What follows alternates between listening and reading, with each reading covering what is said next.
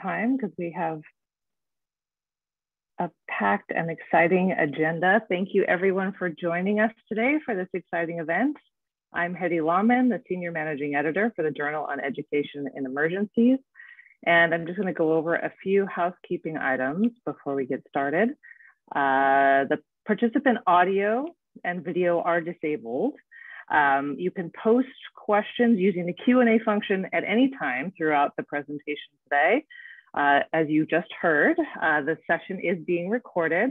Closed captioning is available in English, and the recording and presentations will be shared on the INEE website following um, the presentation.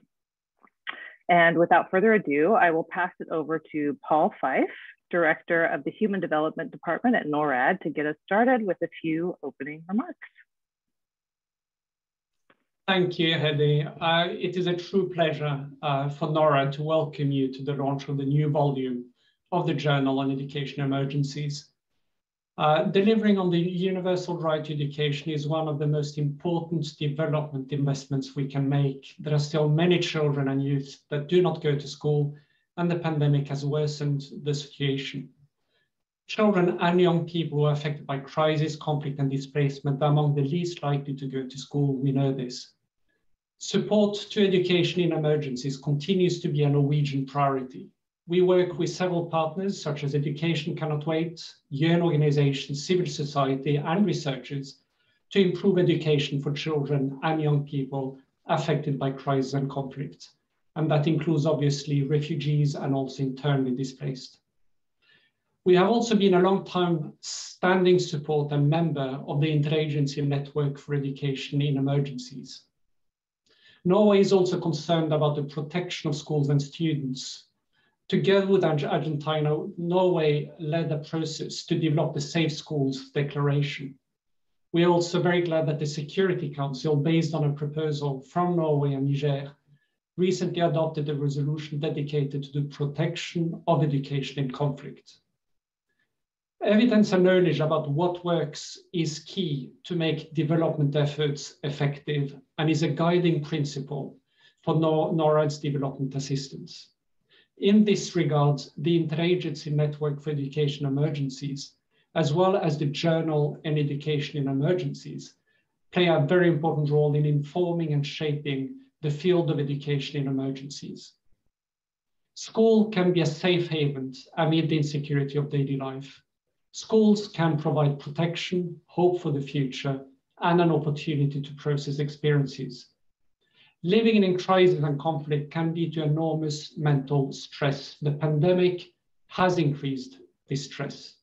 This journal, therefore, comes at the very right moment it will advance our understanding of how, how psychological health, emotional well-being, social cohesion, and education are linked. I am looking forward to this seminar and to listen to the presentations of the various articles in this new volume of the journal. Back to you, Hedy. Thank you so much, Paul, and thank you to NORAD for, uh, for co-hosting this event. Uh, once again, we're thrilled that everyone joined us today to launch the special issue on psychosocial support and social emotional learning. And this event provides a preview of the exciting content contained in that publication.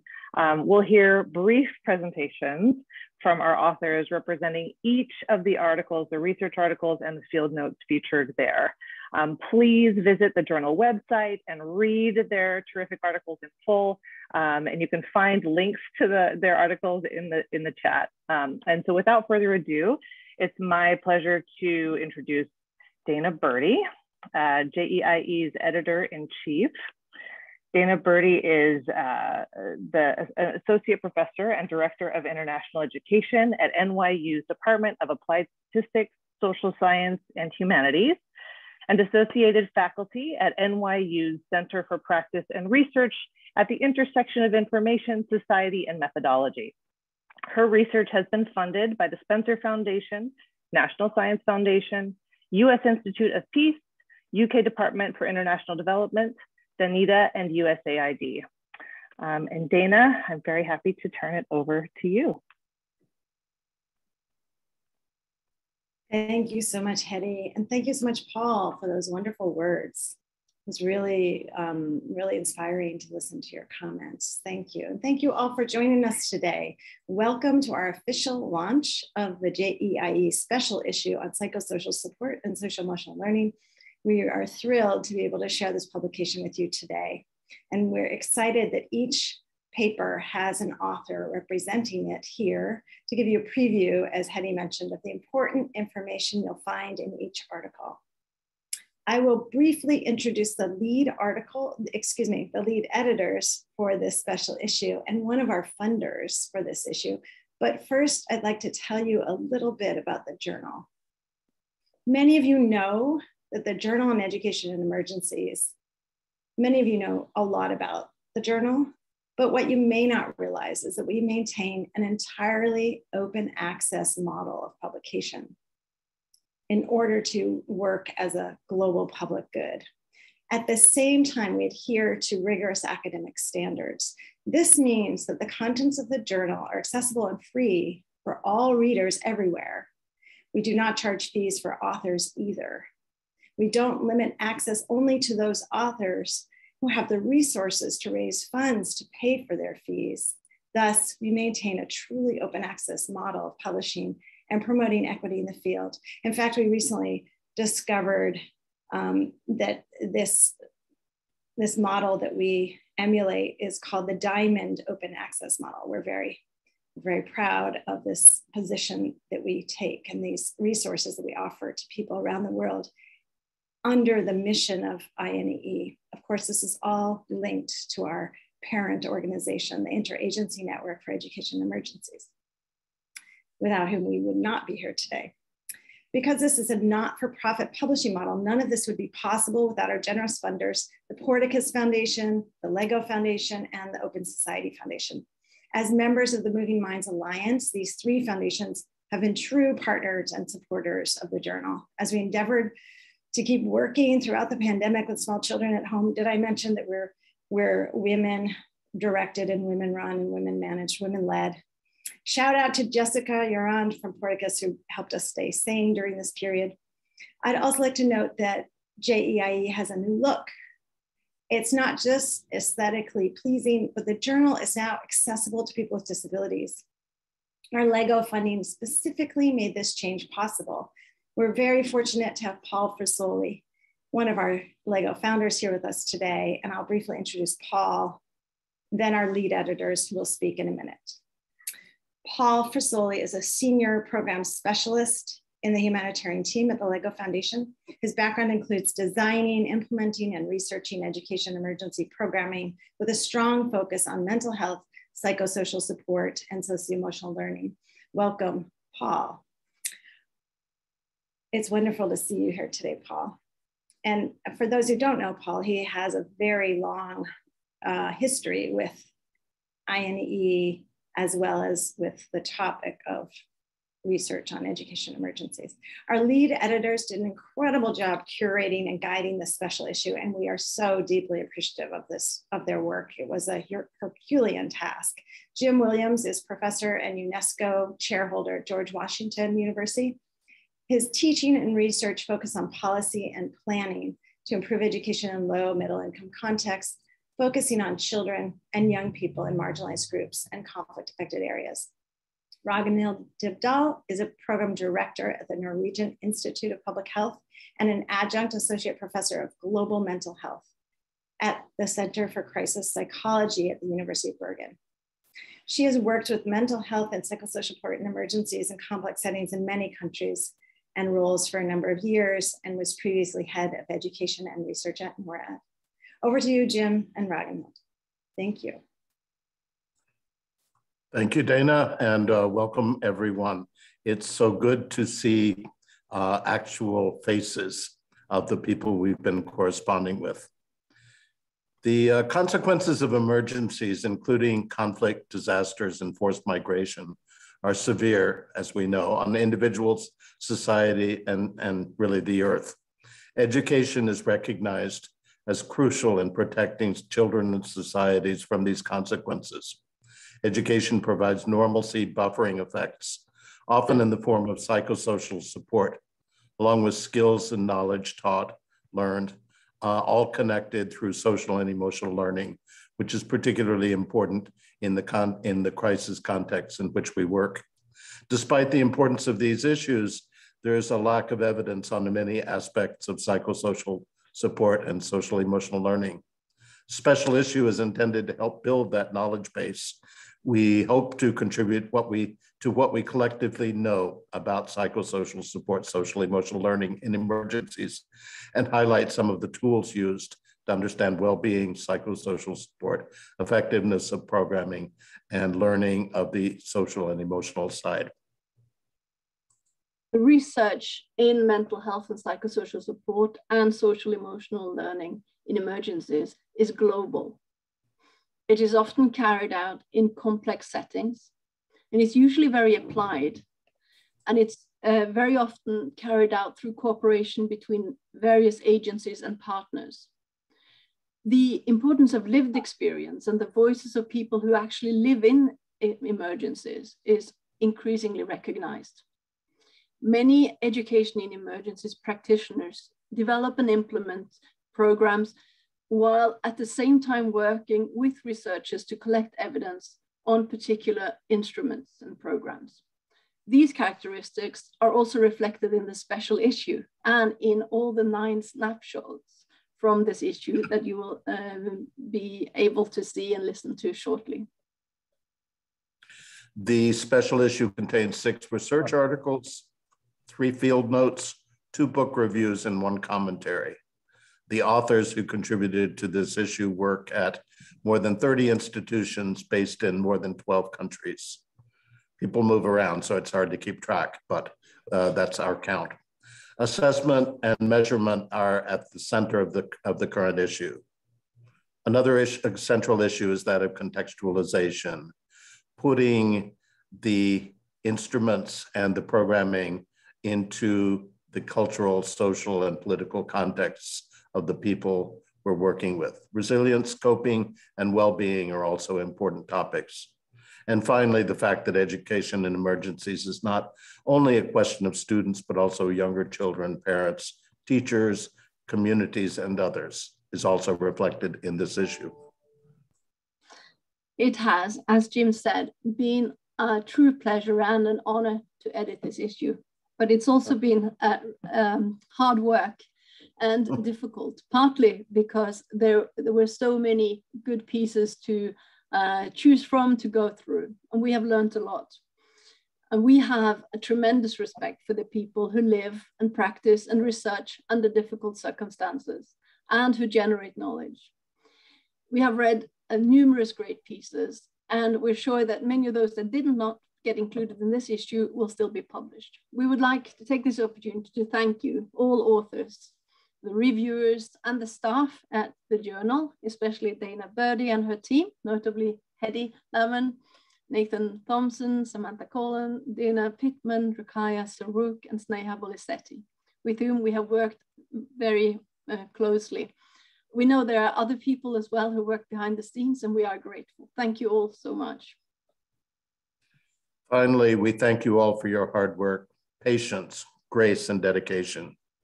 We hope that the special issue will contribute to strengthening psychosocial support and social emotional learning in education and emergencies and be useful in promoting the rights of people, uh, children especially, in emergencies and the quality of services they receive. Thank you. Thank you. Thank you so much, Jim and Ragnhild. I'll now invite Paul Frisoli uh, to make a few remarks on behalf of the sponsors for the special issue. Over to you, Paul. Great. Thank you so much. And I know folks are really interested in diving in. So I will promise to be uh, brief. Um, I'm here wearing a LEGO Foundation hat and a Moving Minds Alliance hat today. Um, at the LEGO Foundation, we're committed to ensuring that children are creative, engaged, and lifelong learners. And we work with our partners to contextualize programs that further the evidence base and generate buy-in on the best way to support children's holistic development, including their social, emotional, cognitive, creative, and physical skills. Um, PSS and SEL interventions are important components of children's holistic development. And the evidence here that we're going to learn about today and that's in the issue is, is key to understanding the best ways to holistically support children and other stakeholders, including teachers in crisis contexts.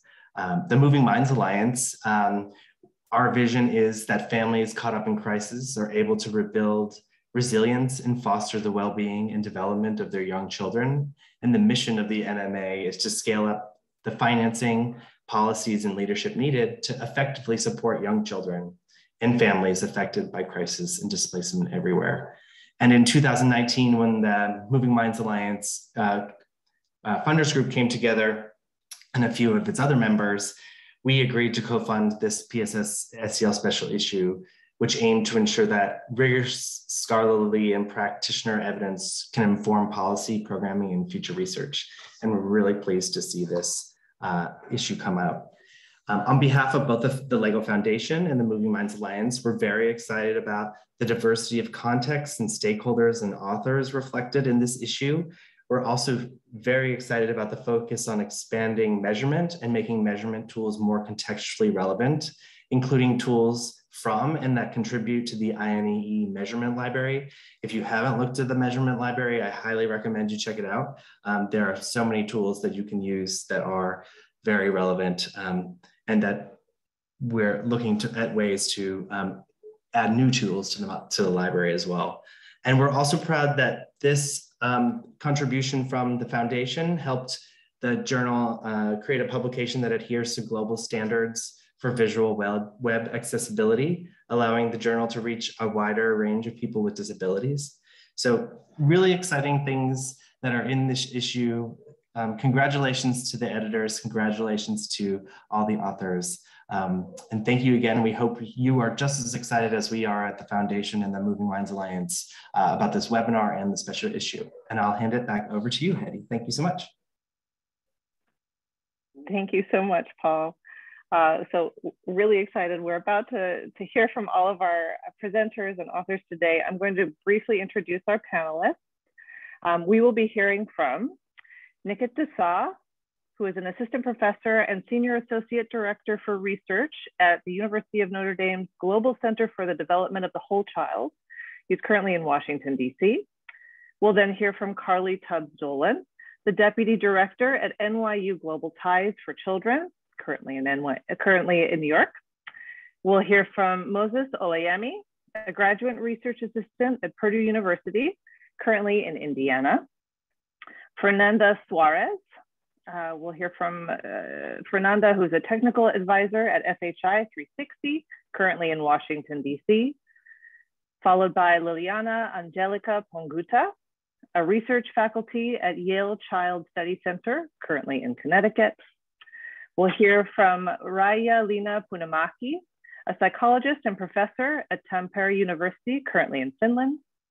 We'll then hear from Shanna Kohn, the Director of International Education at Sesame Workshop, currently in New York, followed by Sergiy Bogdanov, an Associated Professor in Psychology at the University of Kiev, Mohyla Academy, currently in Ukraine.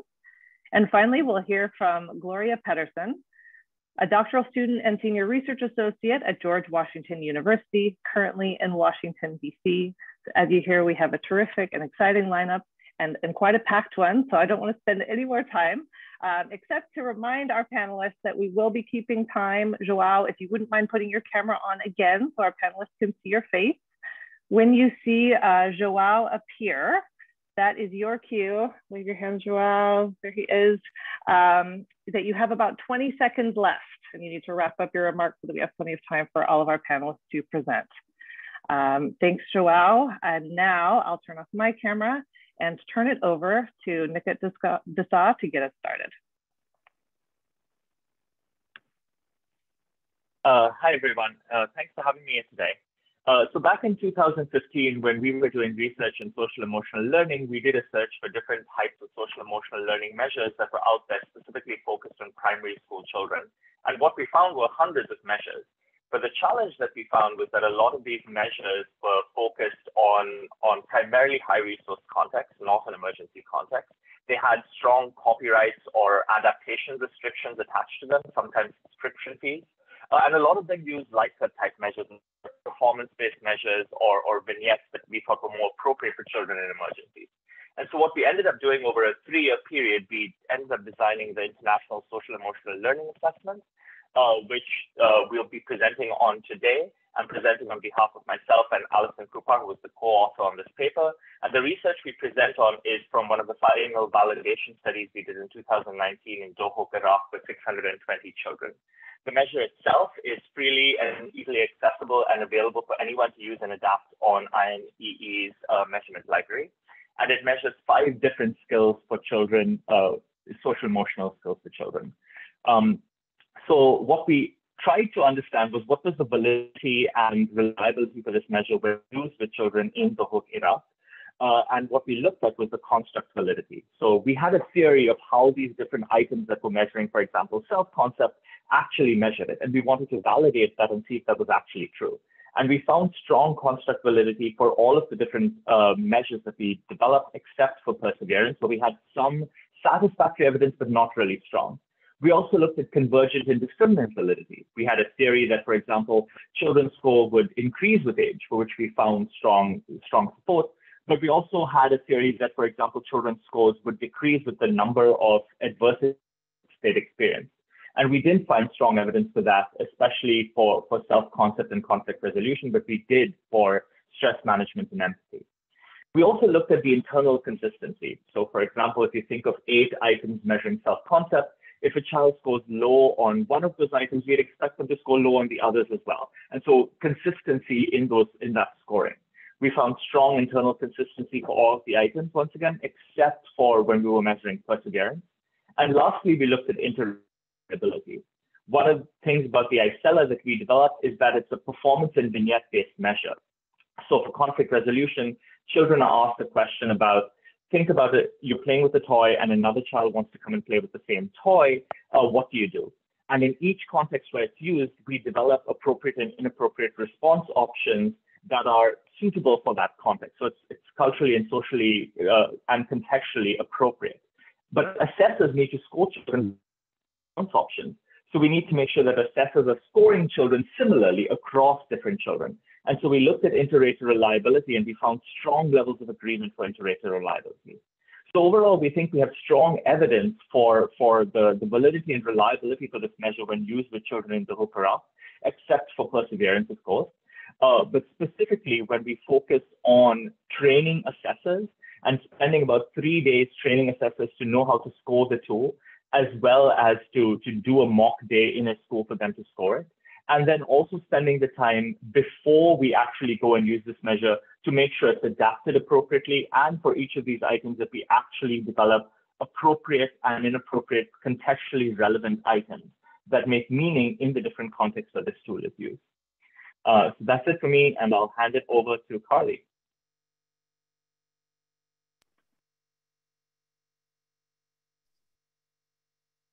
Sure. Thanks. Thanks, Nikhit. Um, and thanks, Sam. So um, our article presents evidence on teachers' observations of learners' social and emotional learning, or the TOOLSEL.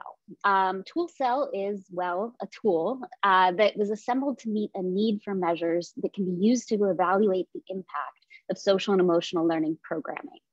To be able to use a measure uh, for program evaluation purposes, it must provide data that is consistent or reliable, credible or valid and fair. That is, there must be evidence that the measure is understood in the same way um, by different groups, such as by boys and girls or by children of different age groups. TOOLSEL was adapted from existing measures to capture a range of cognitive, emotional, and behavioral competencies that are hypothesized to be important for children's adaptation in classrooms, in classroom settings, in emergency contexts, and which are targeted by some common SEL programs in emergency contexts, such as the International Rescue Committee's Five Cs program or the Norwegian Refugee Council's Better Learning program.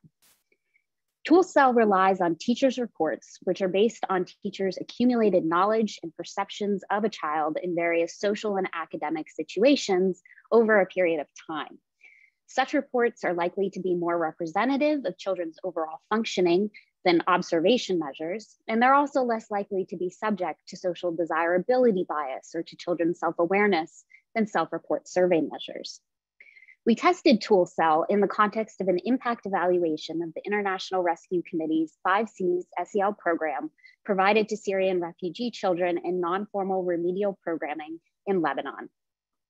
This allowed us to generate evidence that TOOLSEL captures four competencies in this specific context, pro-social behavior and academic engagement, social challenges, working memory functioning, and emotion and behavioral regulation. We generated evidence that the information from TOOLSEL is reliable or internally consistent, as Nikhit was explaining. Um, and uh, we also gener generated evidence that scores can be compared without bias across gender, gender, age, time, and program type because we were able to generate evidence of the fairness of the scores, we were able to responsibly generate evidence on, for example, gender differences and teachers' perceptions of children's social and emotional skills. So in this graph, you see, for example, that girls were rated significantly higher than boys on all of the positive competencies and lower on social challenges. We also found evidence that TOOLSEL scores are associated as expected with other measures of social and emotional skills and with contextual factors providing evidence of convergent validity. Um, so just to move now to say, how do we recommend using tool TOOLSEL? First and foremost, also as you heard from Nikhit, always pilot, adapt, and test when using in new contexts and with new populations. Second, we recommend using this measure in contexts in which there are small to medium class sizes to ensure that teachers really know the children well um, and also to reduce teacher burden. In this paper, we also describe other strategies to reduce teacher burden and to promote observation quality. Um, we will be submitting TOOLSEL to the INEE Measurement Library, which is a collaboration between NYU's Global Ties for Children, the IRC, and INEE. Um, and uh, we are excited, we encourage everyone that when they select a measure from the library um, to please then submit back the evidence uh, of how the measure is working when you've adapted it, um, and also to submit new tools as we're really hoping to grow the library um, into a community of practice. So I will stop there um, and turn it over to the next presenter. Thank you, Carly. Uh, next, we will hear from Moses Olayemi. Over to you, Moses. Uh, thank you all and welcome from beautiful snowy Indiana. Uh, the context of our study centered around South Sudan, the world's newest nation. Incidents of violence and war have caused an extremely high level of displacement of South Sudanese children and youth, both within and outside its geographic boundaries, leaving significant impacts on the psychological and emotional states of the populace. Since 2015, more than 560,000 South Sudanese children have received prime, um, psychosocial support through the Integrated Essential Emergency Education Services Program, a USAID funded project implemented by UNICEF. This paper is an offshoot of a much broader goal to evaluate the impact of this evaluation of this intervention on students' psychosocial well-being and academic performance. Our research team consisted of a much smaller subset of a large multi-institutional consortium of multidisciplinary partners. Our approach was to use a two-stage sampling procedure of recruiting 2,982 students, 580 teachers in 64 schools that were sampled from five states in the Republic of South Sudan. Our research team quickly realized through our desk reviews how crucial it was to create a culturally and contextually relevant and rigorously validated instrument to measure students' well-being in a region like South Sudan where research on PSS outcomes in education emergencies is needed. This article chronicles the process by which we developed our instruments, including the collaborative efforts of experts on measuring PSS outcomes in conflict settings and experts on the local South Sudan context. Our work shows the result of our test for the construct validity of the resulting instruments and the results of our confirmatory factor analysis of this three-factor model of social well-being, emotional well-being, and resilience and coping. The questionnaires we based our instrument on had previously been used extensively in different socio-political and cultural contexts. Our contextualization and validation process, uh, process for this context was rigorous. Overall, we find that the three core domains we measured, emotional well-being, social well-being, and resilience and coping emerged as factors in the South Sudanese context. The domain of resilience in particular is identified as a significant self-regulation factor in South Sudan. We recommend that the academic and practitioner communities use it as and when appropriate to assess well-being outcomes in South Sudan or similar contexts. Another equally important recommendation is the process through which we adapted, implemented, and reassessed the instruments we use to measure well-being outcomes. From the beginning of the process, local South Sudanese researchers prioritize domains of interest and modify the questions as appropriate. We strongly recommend that this level of collaboration and local leadership be a core facet of any work on psychosocial support and more broadly on the study of education in conflict settings. Thank you.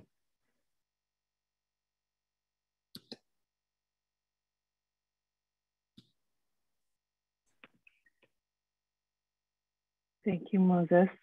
Uh, I will now turn it over to Fernanda Soares. Thank you. Hi, everyone. How do we know if teachers in crisis and conflict affected settings are well? With this question in mind, my co-authors Nina Cunha, Paul Frisoli, and I embarked on a journey to first understand what teacher well-being means, specifically in the context of El Salvador, and to develop the well-being holistic assessment tool for teachers, or the WHAT tool. Our tool measures four key constructs of teacher well-being, burnout, stress, emotion regulation, and self-efficacy. Given the stressors that educators constantly face in El Salvador related to the influence of gang violence in their day-to-day work, and the potential for these stressors to lead to negative outcomes of well-being, we prioritize the measurement of stress and burnout in the WHAT tool, and specifically the emotional exhaustion dimension of burnout. However, we also wanted to go beyond affective aspects of well-being to consider protective factors that may influence how a teacher responds to different stressors.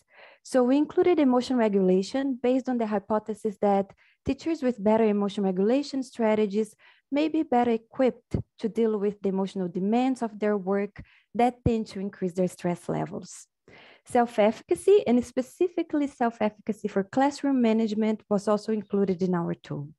Teachers that perceive lower ability to manage students' behaviors when facing discipline issues could potentially be more susceptible to feeling stressed and anxious, which may also lead to emotional exhaustion. For each of these four constructs, we developed a measurement inventory and then we selected individual measures to be further refined and adapted specifically for the context of El Salvador. We selected pre-existing scales with good internal consistency, scales that were short, that were easy to comprehend, and preferably that were unidimensional to simplify the analysis process.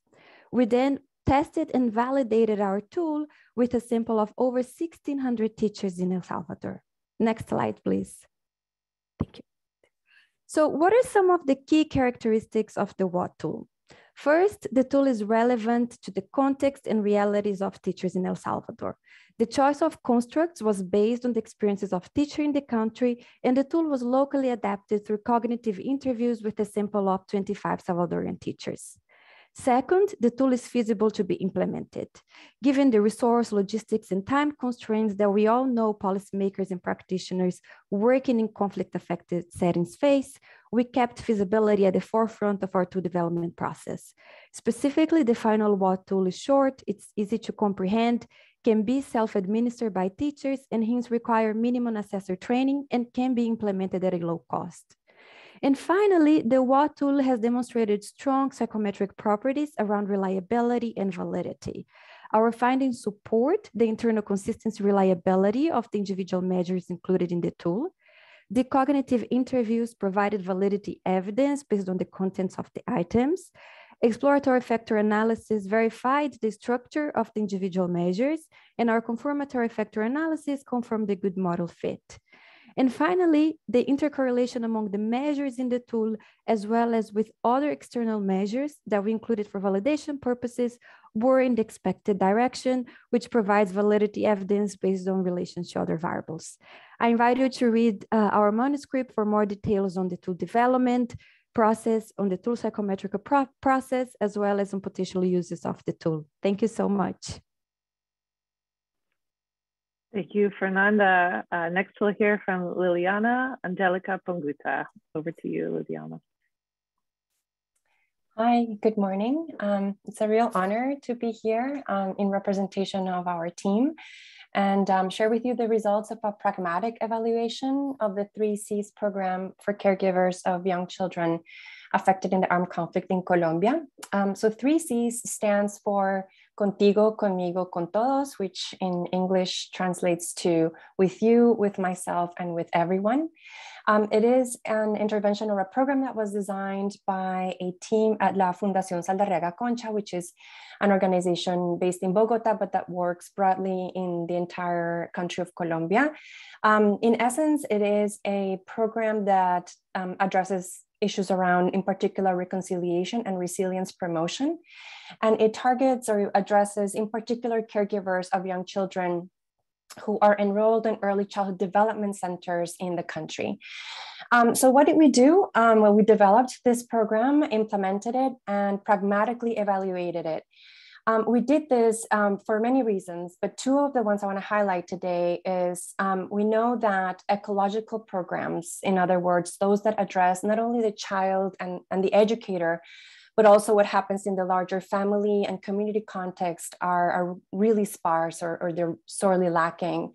Um, we also know that resilience building interventions, which is a really critical issue of psychosocial support and social emotional development, are also sparse so the intervention or the program itself um, has two modules. It has a skills building program, um, which targets or is open to all grandparents, uh, parents, and educators of the young children, which we call caregivers as a whole.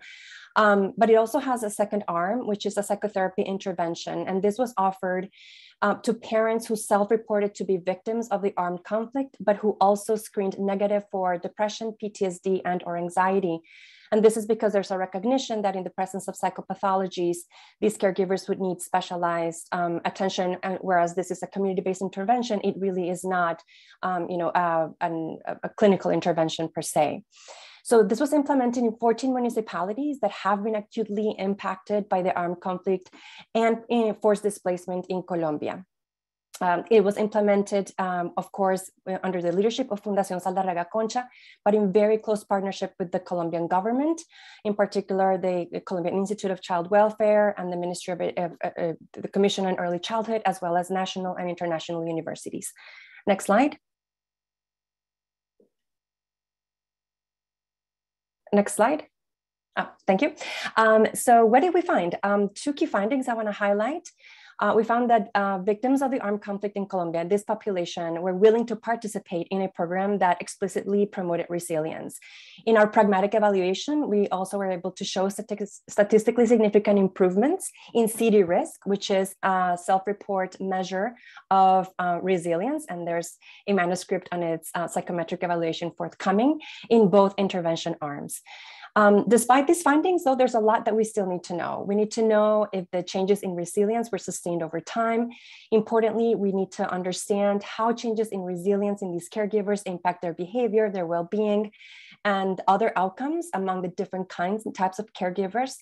We also need to understand what are the impacts of caregiver participation, particularly in the outcomes of children. So what's the transference of this mobilization of um, resilience into child outcomes?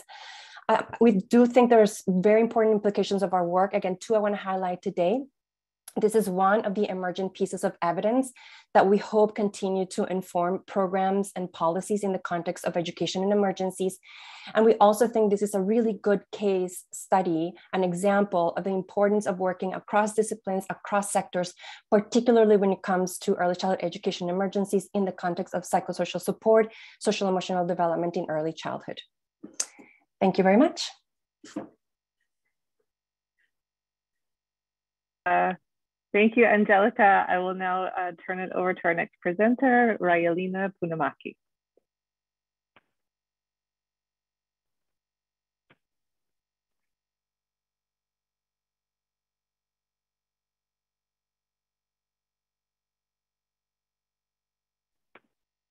Uh, Raija, I think, Raija-Leena, I think you might be on mute. I'm sorry. Uh, thank you there very much for invi thank you very much for invitation. I'm uh, presenting uh, uh, our results concerning a intervention and research project we did in with our uh, Palestinian colleagues in the institutional context of Gaza Community Mental Health Program. And we were especially interested about how the uh, family relations, the content and the nature of family, family uh, relations might, uh, might influence the success of our uh, intervention. And the intervention was psychosocial school-based inter intervention, uh, especially uh, focused and targeted or, or, or for uh, children exposed to traumatic war experiences, and this in this case in the in the context of Palestinian and Israeli conflict, and uh, we were especially inspired by um, by uh, uh, the family system theories in that way that we wanted to uh, to identify different family types that would differ in their attachment relationships, in sibling relationships, and in parenting uh, styles, and see how they affect our success in the intervention. And the second, second inspiration by the family system theories was that we were interested if our intervention could be uh, somehow having like a compensatory uh, dynamics or buffering dynamics in that way that uh, that not only uh, children who have lots of different uh, resources in families and communities would still benefit from the intervention.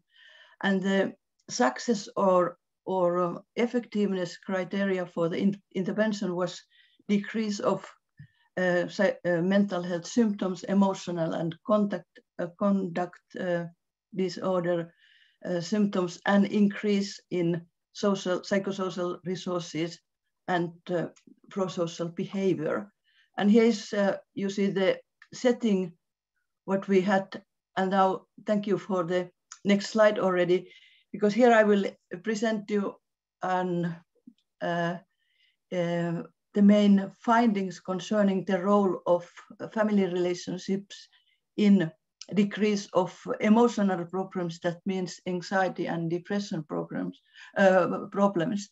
And first of all, we identified four different family types according to the security and sibling relations, parent relations in the families.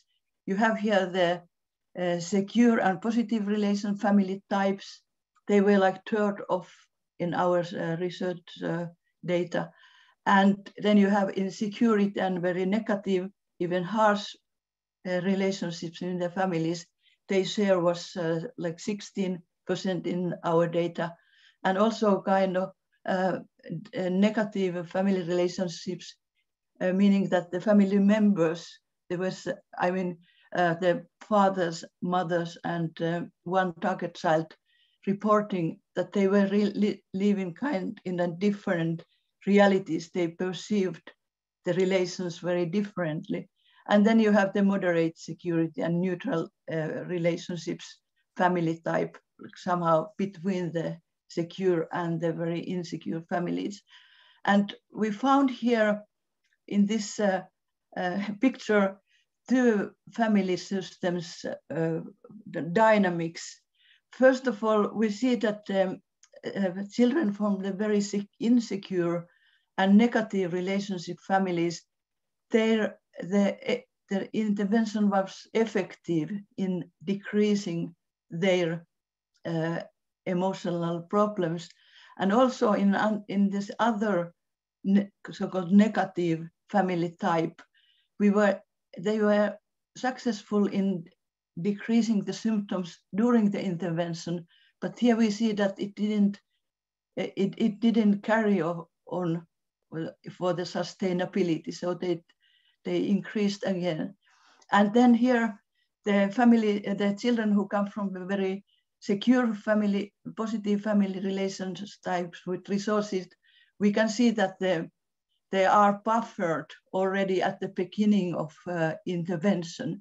So here we see already that the emotional problems are very high in those uh, family, insecure families, although the compensation dynamics can be seen that the, the intervention was successful in decreasing them.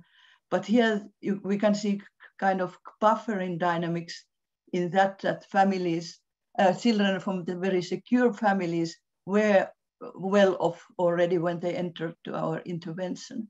Just shortly uh, commenting and uh, concluding these find, findings, we would very much uh, uh argue that the multi-level, maybe also attachment theory and family systems theories informed knowledge about the families, their uh, vulnerabilities and also their strengths would be very useful when we plan targeted and tailored and evidence-based intervention for children who are exposed to extreme uh, traumatic war experiences. Thank you for listening. Thank you so much, Raija-Leena. Uh, and now I'll turn it over to Shanna Kohn. Thank you so much. And uh, thank you, J-E-I-E and I-N-E-E for having us. Um, and I also want to do a quick thank you to my co-authors, Kim Foulds, Charlotte Cole, Mackenzie Matthews, and Layla Hussein, who all con contributed to our field notes. Um, I'm going to speak about Sesame Street's local adaptation of, of the show for the Middle East and how we use a, very research-based and participatory process to arrive at the educational goals for the show. So for those of you who are not familiar, Ahlan Simsim is a local Sesame Street created for children and families affected by displacement. And like with all Sesame co-productions, we use this research-based process that you see on this slide um, in order to determine the focus of the show. Um, so at the very top of that slide, you see the needs assessment is our first step in our process. And in this case, the needs assessment helped us determine this focus on social emotional learning as a priority for the region.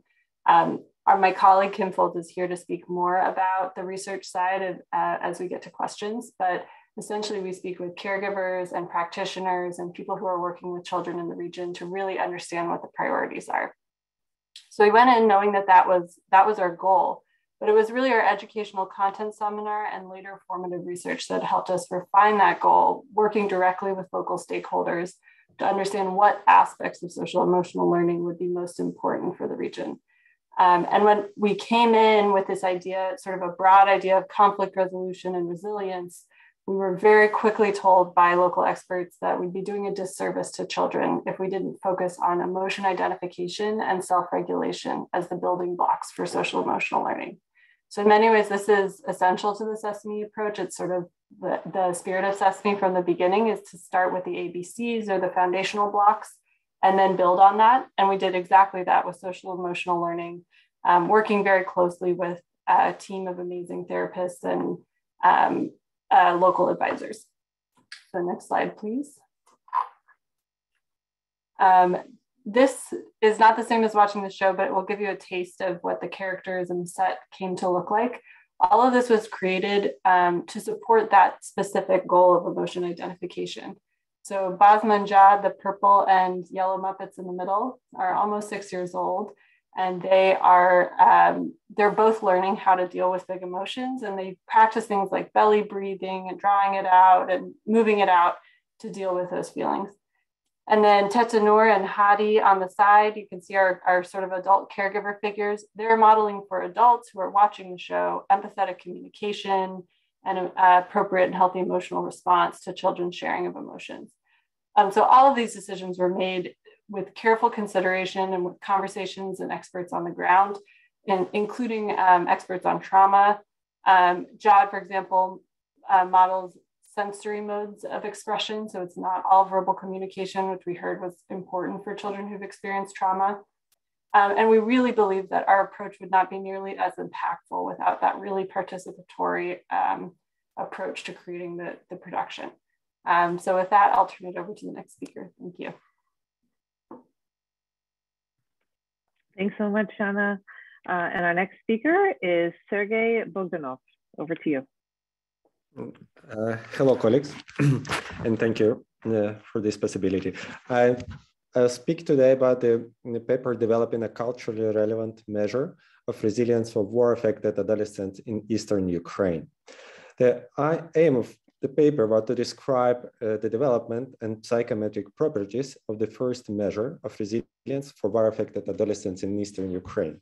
So why we have done it? Because so first of all, there are a huge amount of children who are living in uh, conflict-affected countries, and Ukraine since 2040 is one of such countries where more than 400,000 children are uh, conflict-affected.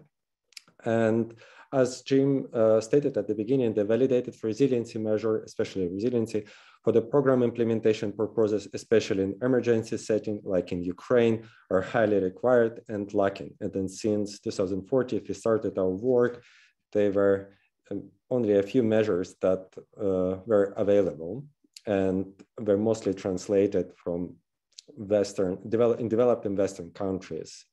So the our idea was con contextualization as a look for the measure that will really that will be less biased and show uh, culturally silent, silent assets of resilience construct in Ukraine. Uh, what we done, uh, we have, uh, so we used mixed method approach, uh, qualitative and quantitative methods. First of all, to identify main cultural characteristic of resilience and this context, specifically for Eastern Ukraine. And that should inform our validation study when we wanted to statistically test this local model of resilience. You can see here also the colleagues that I'm very pleased to uh, introduce here and that we work on this paper. There is a team of practitioners, practitioners and pedagogists, psychologists from Ukraine and globally. Next slide, please. Uh, so it, our work resulted in the resilience screener for use uh, that, uh, as I said, we started with doing 76 uh, semi-structured in-depth interview with young adolescents who lived in the front line. And additionally, 10 focus groups were conducted with another people just to uh, look at the construct that were extracted from uh, the semi-structured interview and we wanted to see if how the children explained it and really learn entire perspective. Uh, based on the results, we have, uh, so we done a bottom-up um, approach and use um, inductive method to develop categories or uh, that would mostly represent the resilience construct in Ukraine. You can see it uh, uh, here in the slides. We have identified 12 such categories that also includes uh, uh, both also some coping strategies, uh, not only positive, but also negative, like conflicting with other or social isolation. Uh, based on this, we um, developed uh, initial questionnaires with 146 items. And uh, using exploratory structural equation model procedure with, within a sample of 218 adolescents, we were able to extract five factors model with 27 variables. And you can see that these five factors are family support, optimism, persistence, health, and social networking. So this uh, measure has a good internal consistency, as you can see, a good test for test reliability. But then we also conducted unconfirmatory factor analysis because we wanted to look what are the relationships between all these five factors and to test, would we identify that there are only one single uh, general factors that unify all of them, or we will see some sub-factors. And the results show that bifactorial model uh, fits the best, uh, that namely only family support, most only one most significant factor that we were able to identify, and the rest of these four rather built a general resilience factor. That mostly fits with the Masten ideas and the interplay between resiliency and uh, family support And we think it's not unique, but interesting because the family is only one uh, significant relational and contextual factors that the children and adolescents are relying on. And compared to other models, this Ukrainian one also characterized through absence of community support or spirituality support that those factors were identified in other conflict affected contexts. So we think that the measure we have created is practically uh, so it's useful. It's short, has only 27 variables. It's describe a local perspective of children and resiliency and could be helpful in measurement of the effectiveness of psychosocial programs, as well as uh, in further exploration and the resilience and their interplay between stress, resiliency, and learning or mental health outcome. Thank you very much. And turning back to Hedy. Thank you, Sergiy. And now we'll hear from our final presenter, Gloria Pedersen. Over to you. Thanks so much. Um, thanks so much to my fellow co-authors and JEIE for this successful publication and exciting panel.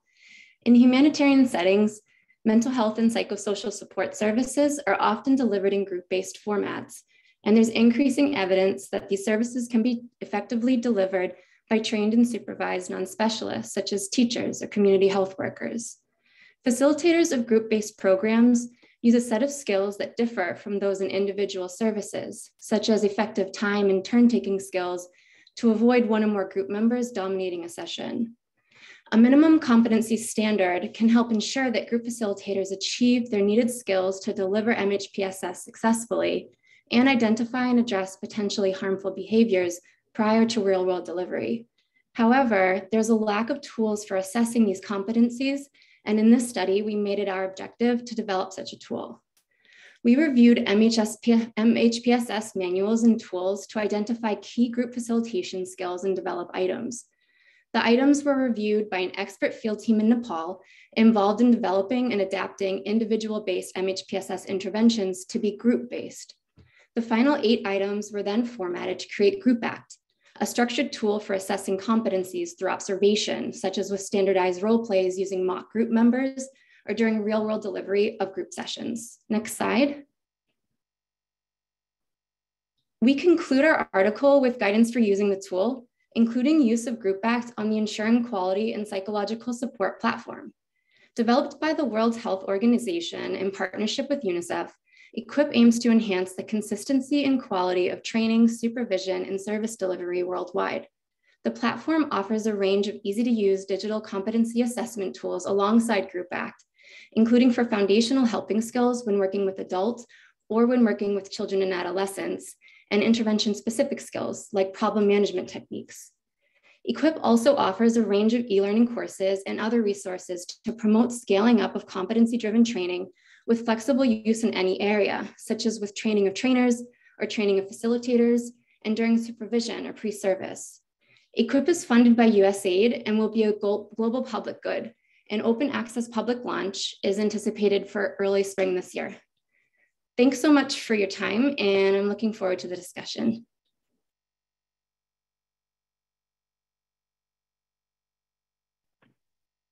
Thank you so much to our terrific presenters for sharing uh, the incredible evidence that's contained in your articles in a very concise and brief way um, to give us a teaser of what's contained in the publication. Um, so I'll ask Sam again to, to please post the, the link to the publication so everyone has access, check out their articles in full. Um, we now, um, because our presenters were so uh, fantastic in keeping to time, we have uh, uh, some a nice amount of time for Q&A. Um, so I'll invite folks to please share your questions using the Q&A function. Um, there are a few questions that are relevant across panelists. Um, so because these questions um, kind of speak to everyone in broader uh, ideas related to PSS SEL, I'm going to share all three of them and ask that you know the panelists respond to the question that's most relevant to their work and um, uh, the research that they've been conducting. Uh, and I'll also post these in the chat so we have them for reference. So let me do that now. So starting with this one, and then I'll, I'll share two more. And again, panelists can think which, which, which question they'd like to respond to. So first question coming from one of our participants. I recently participated in the Better Learning Program workshop by NRC in Iran. From what I have understood, the concept of education in emergencies and psychosocial support are mostly focused on education in ongoing crises like conflicts and disasters or forced migration, but there are thousands of Afghan children who actually were born here in Iran and have not experienced firsthand conflicts or fleeing. Their parents or grandparents had to flee Afghanistan years ago, and they are still suffering the consequences.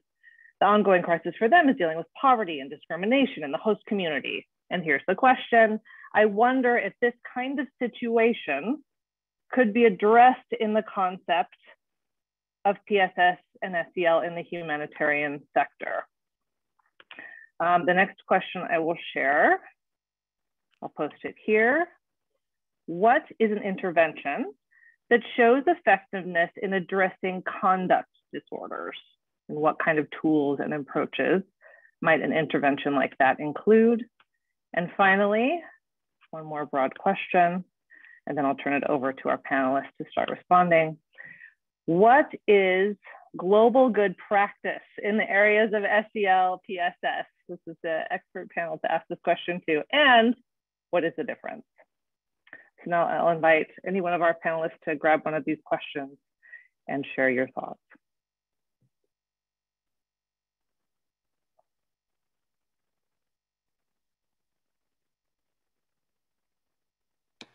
I mean, I could take a crack at the first question. Um, because it's it's really interesting. Hi, um, I don't know the person that um, sends that um, question, but I, I think it's a very relevant question in the sense that when we talk about like displacements, um, when we talk about displacements, um, displacement can either be internal or external. Um, in the context of the study that we wrote our paper um, around, that was a context where the displacement that the populace experienced was internal.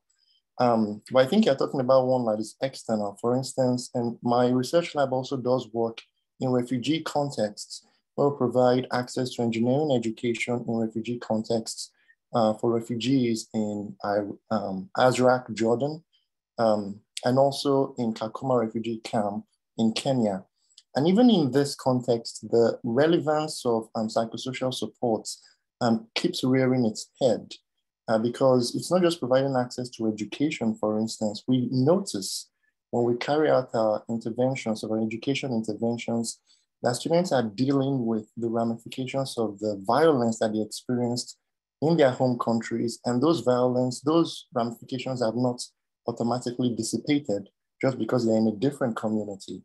Um, so we are consciously bringing in um, even in the deployment of our education services, uh, recognition of the trauma um, that um, our students, the population have experienced.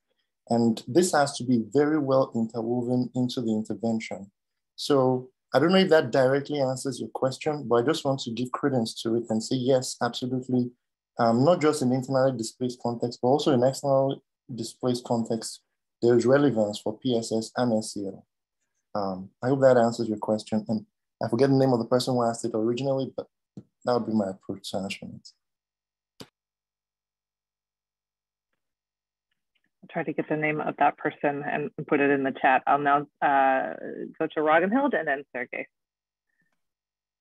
Thank you. I'd also like to add just another um, comment to that good question in that what is a crisis or an emergency in one setting may not be one or at least the same one in another. And so that it has a lot to do with the resources as well and how they're used. So uh, in a way you could say, if you think of crises and emergencies as when the needs exceed the resources, then it um, it doesn't have to be an ongoing conflict, for example.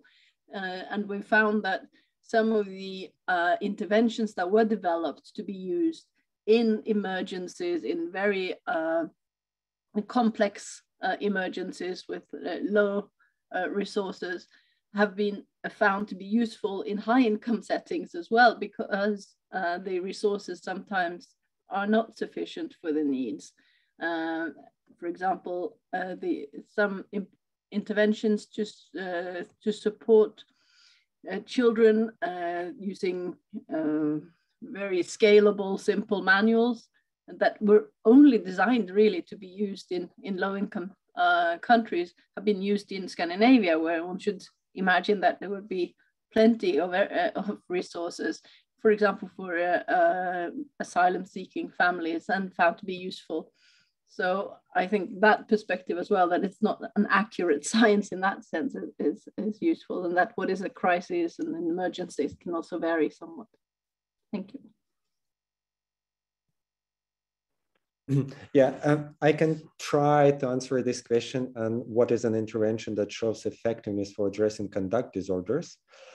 Uh, I will maybe not speak about the disorders, but rather the conduct problems because we use, as we have developed in Ukraine and tested uh, intervention, group intervention provided by school psychologists within school setting and outside that was using strengths and difficulties questionnaires. We it showed a good effectiveness in resolving conduct problems and other types of problems um, measured with uh, SDQ. And this intervention is mostly based on cognitive behavioral therapy approaches like stress management, social engagement, uh, reestablishing social context, working with difficult memories, uh, think, also like thinking in cognitive restructuring or thinking in different way. And I think there is a global evidence that uh, that work mostly for the people who are in conflict affected settings, at least in Ukraine, that works well. And we have tested it within school and outside of school. And yeah, that is our experience we can share. Thank you, Sergiy. I, I saw there was a, a hand up, um, Deborah Haynes. I'm not entirely sure how this how this works in terms of of uh, inviting you to speak. Sarah might have to help me with this in terms of the webinar Zoom logistics. Uh, go ahead, Deborah.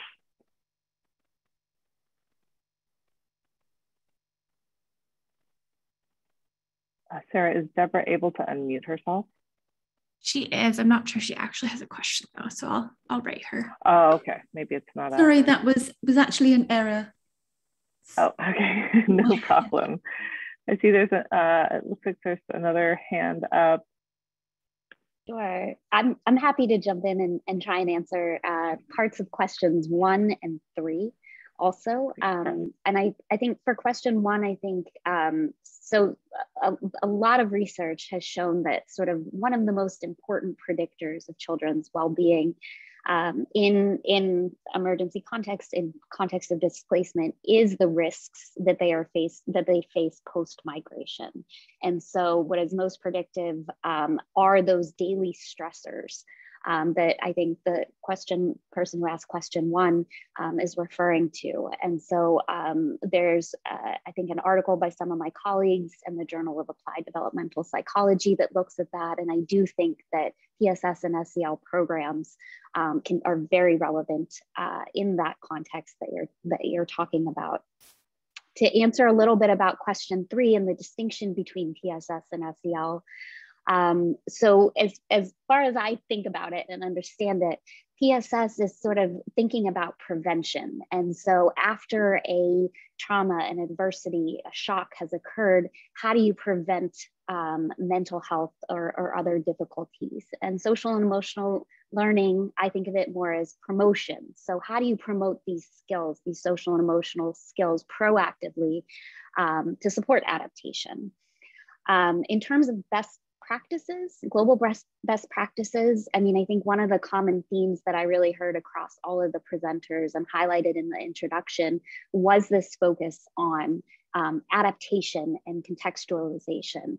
Um, and I think along those lines, I mean, what, you're, what we were sort of hearing in the measures and the programs are underlying that. What are the core frameworks and the competencies and the skills that are most important in these contexts and spending the time to invest in those systems and understand, collect information um, uh, incorporate the voices of the people in the context so that as you're developing these tools and these programs, they're meaningful and relevant.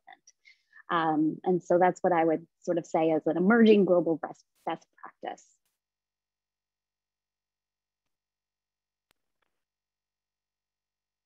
Terrific, thank you, Carly. And I'll ask if there's um, any other authors or panelists or, or editors who'd like to respond to any of those questions. We've got a couple more questions coming in. Uh, go ahead. Uh, yeah, Hedy, thanks. I'll, I'll jump in as well. Just to add to, to Carly's uh, to point, uh, and there is a there is a white paper on the INEE website about uh, PSS SEL and the link between those. Uh, my internet connection is not unfortunately good enough for me to research that and post the link. So someone could post the link to that, uh, and or after I speak, I'll, I'll post the link in the chat. But taking a look at that, and the, the, there is a pretty well described link between PSS and SEL. Uh, I think to relate to that last question, but also the, the first one, uh, and to kind of piggyback of what Carly was saying, I think with, with SEL programming or, or kind of in developmental psychology, we think of kind of the risk factors that children face. Um, and programs or factors that directly address those those risk factors would be considered uh, protective for children, right? So, so something like a program that directly affects a specific risk factor for children would be considered protective, while a program that that has a benefit for children in almost all contexts, independent, which is which is hard to say, independent of the risk factor, would be con considered promotive. And so I think in some some senses, SEL programming serves both those roles, right? So if we take the example that that the individual was talking about in in Iran with with children living who have been born uh, in in Iran but have parents who have, who have come from who've been forcibly displaced from Afghanistan, uh, there is a factor of both promotion and and prevention for those children with SEL programs, and that's I think partly the the article that that Carly was referring to as well.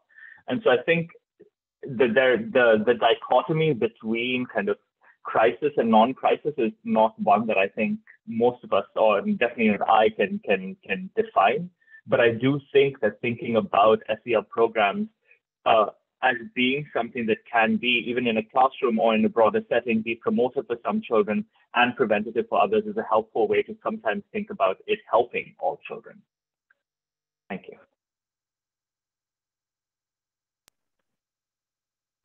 Thank you so much, Nikhit. Um, the next question uh, I'm going to share is, is, directly for Fernanda, and then I'll pose two more questions that are broad to the panelists, and I'll post those, post those in the chat. So uh, for Fernanda Soares, for the teacher well-being tool in El Salvador, can you elaborate again on how the tool was used to inform the design of your teacher support package, routine monitoring, and to evaluate the impact of a teacher intervention. And then I'm going to share these other two questions to all the panelists. You have time to think about them while, while uh, Fernanda is responding. And these two questions are here in the chat now. Were children and adolescents with disabilities included in design and validation of any of these tools or programs? And then uh, one more question. Were, um, was there no access in terms of technology as well as lang the, the lang language translation barrier in order to garner um, core response regarding SEL at the community level. So what are the best practices in terms of uh, language translation barriers and technology? Um, and I will turn it over to Fernanda to kick us off with some of these responses. So uh, in response to the question, the WOT tool was developed in the context of a teacher well-being intervention in El Salvador. So we implemented the baseline, which I presented the information on across 60, over 1,600 teachers that comprise the treatment and a control group uh, in six different departments in El Salvador. Right before they started in a teacher well-being intervention, there was part of a larger teacher professional development program. So the teacher well-being intervention specifically was an intervention that uh, FHI 360 in coordination with the Minister of Education in El Salvador delivered to um, de delivered across eight different modules spread out in a little bit over one year. Uh, each module comprised of one or two days of intervention that really focused on the well-being and the development of social emotional competencies for the teacher under the recognition that in the literature and the evidence existing in the literature of the importance of teachers being well to develop and uh, promote social emotional competencies in the classroom among their students. So the intervention, like for example, focused on supporting teachers in, uh, in, in applying mindfulness techniques, uh, local stress management, uh, local stress management strategies, as well as, as I was mentioning, in developing their own social emotional competencies, and specifically around the, the CASEL framework of the five key social emotional competencies. So the tool was used, so going back to the tool then, so the tool was used to assess uh, to assess uh, stress, emotional exhaustion, emotional regulation, and self-efficacy at baseline right before the teacher is engaged in this intervention package. And then we use the tool again to measure to see if there was any increase in teachers, uh, in teachers' well-being at the end line. And we compare the differences that we saw uh, between treatment and control groups. So what we present uh, in this manuscript specifically focuses again on the tool development process as well as on the psychometric properties of the tool, but you can stay tuned for also like another uh, paper that focuses specifically on the, on the impact of the intervention on the levels of teacher well-being in El Salvador.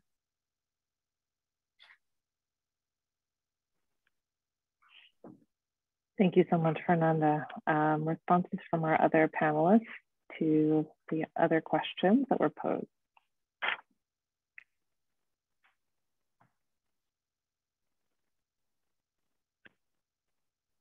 And there are some responses happening in the in the chat feature as well.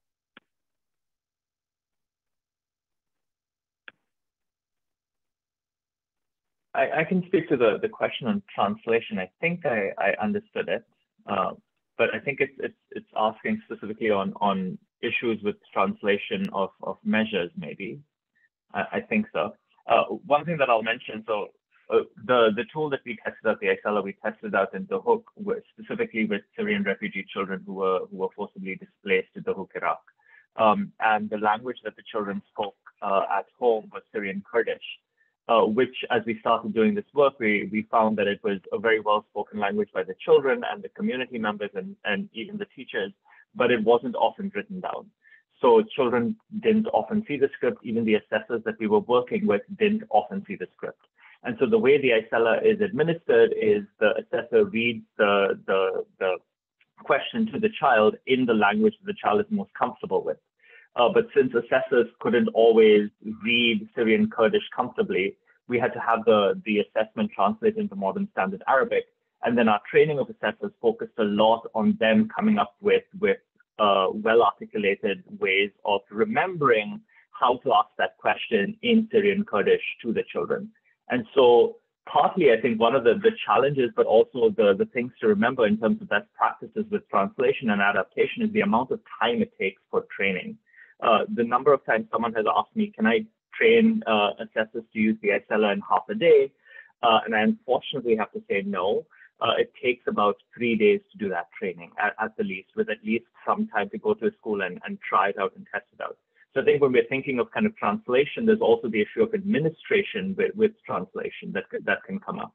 Uh, and, and I think one of the best practices that I would suggest, and I think a lot of the, the the co-presenters would agree is investing a lot in terms of adaptation and training of assessors to make sure that they, they know how to administer the tool.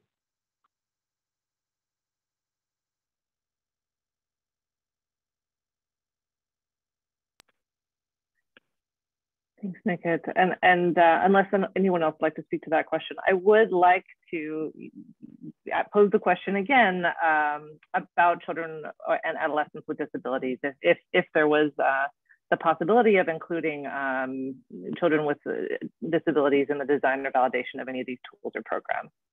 Or, or if not, that's also in, important and interesting to know.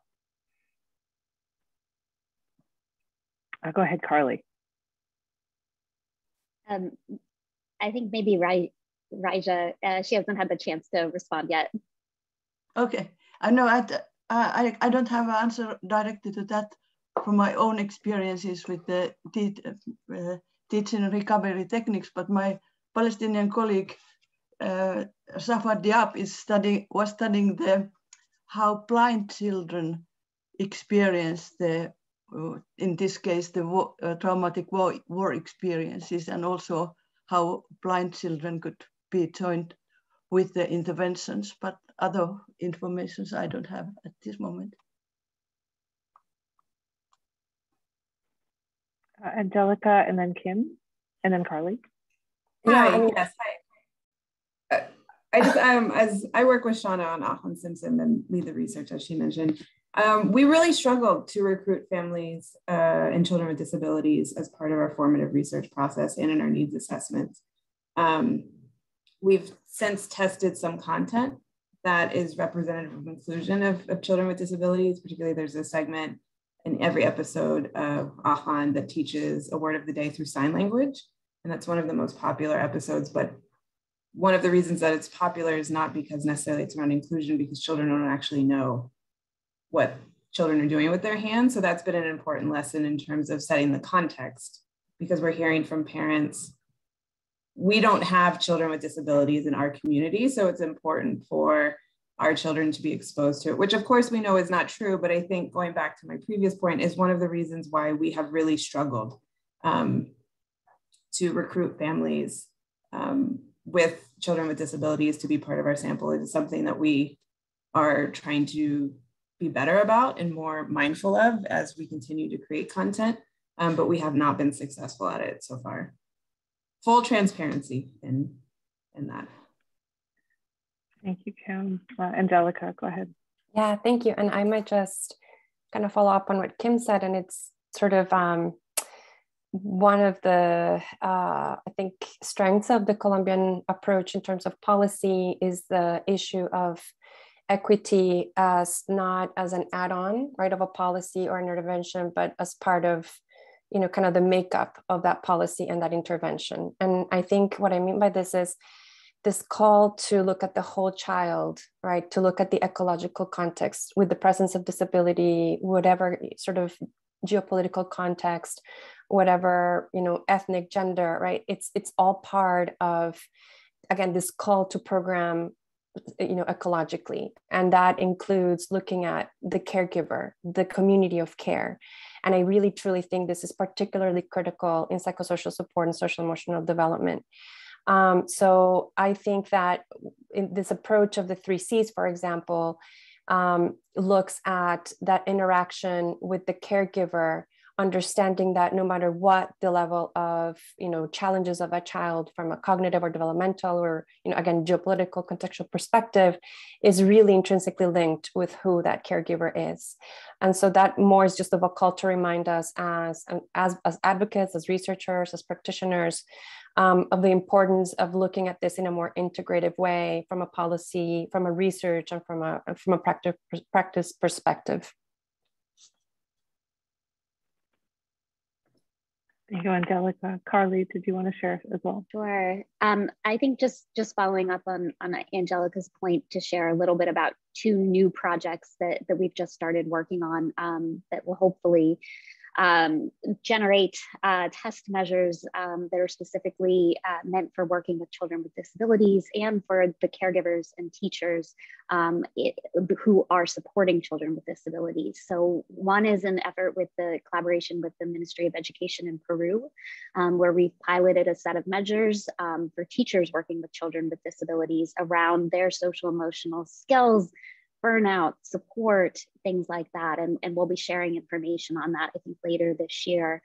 Um, and then I, I think uh, to um, uh, the point that was raised by the prior panelist about the difficulties in sort of um, children with disabilities being represented in these samples. Uh, I just wanted to give a, a, shout out to a group, the Xavier Project, um, who is uh, uh, currently being supported by the UNHCR's Humanitarian Education Accelerator.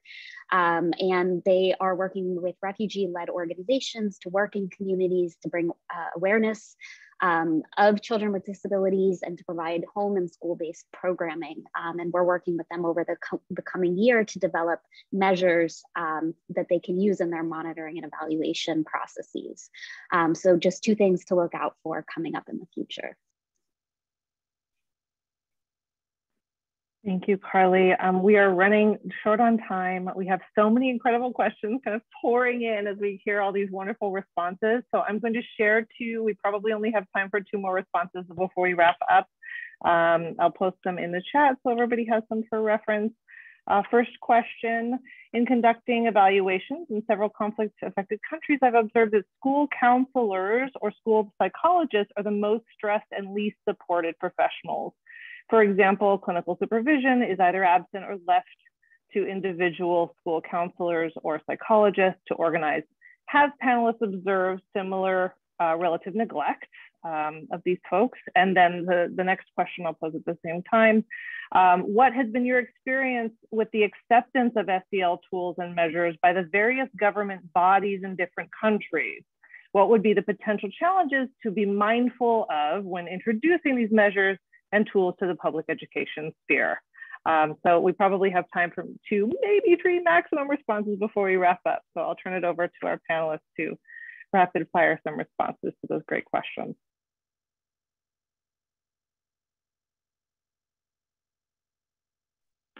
Angelica, go ahead. I'll take a very, very quick stab at the issue of assessment and acceptability, uh, because in Colombia, that's one, been one of the major paradigm shifts. I think three key ideas maybe to take with us. One is the importance of understanding the purpose of assessment very, very clearly. And I think probably this audience that is a little bit of an obvious point. But when this is taken out into sort of spheres outside of research, there can be a lot of confusion as to why we're assessing what the purpose is. Um, two, there has to be a lot of clarity around who the right stakeholders are, right, to position any given assessment. Uh, and sometimes that will involve not only just, of course, the families, the children, but also the larger community and the government where that is sort of you know of relevance. We've done something like that in in the context of assessment of quality. And one of our biggest challenges was advancing the conversation of child assessments for all the right reasons. Um, and then third thirdly i would say you know issues aren't just you know ethics. I mean this cannot be i think uh, overemphasized.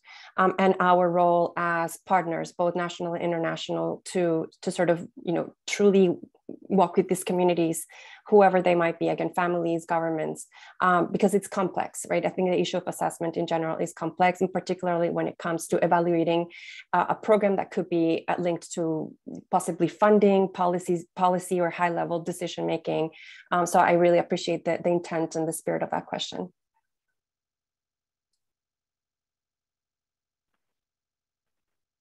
Thank you, Angelica. Raija-Leena, did you want to speak as well?